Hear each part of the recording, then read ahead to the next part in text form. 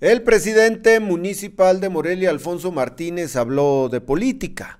Habló de la renuncia de Luisa María Calderón. Dice, bueno, que lo que está viviendo ahora Cocoa, él lo vivió hace tres años, que conoce muy bien al partido Acción Nacional, que está secuestrado ese partido por una pandilla, así lo dice, y que necesitaba una sacudida de este tamaño para ver si reaccionan. Eso dice Alfonso, que creo que todavía tiene el corazón un poquito azul.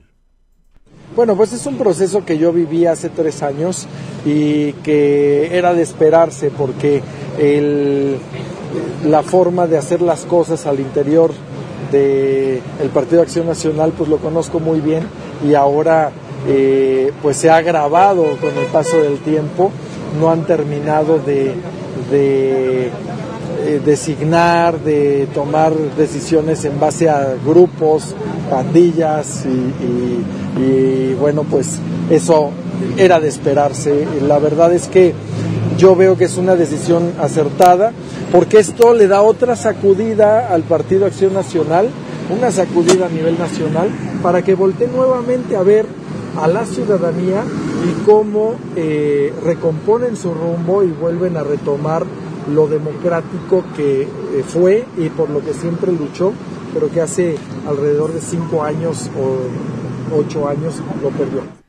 Alfonso Martínez dice también que va a dialogar y hacer un frente, ya ve que ahorita está muy de moda esto, con todas y todos aquellos ciudadanos que quieran lograr un cargo de elección popular por la vía independiente.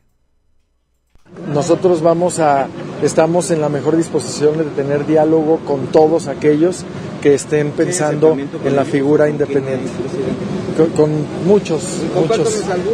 Bueno, pues por ejemplo, todos los que estuvieron el día eh, primero de octubre en el evento que hicimos en el centro de convenciones y que, bueno, quiero decirles que en ese momento teníamos la presencia de, de 40 municipios, 40 o 41 y que ahora estamos llegando ya a los 55 municipios. Yo estoy seguro que con esta eh, importante eh, decisión de Luisa María Calderón y de Margarita Zavala, pues en, todo el estado va a haber muchos más. Hay interesados en el estado hasta ahorita, formales o, con, con, una intención real, 55.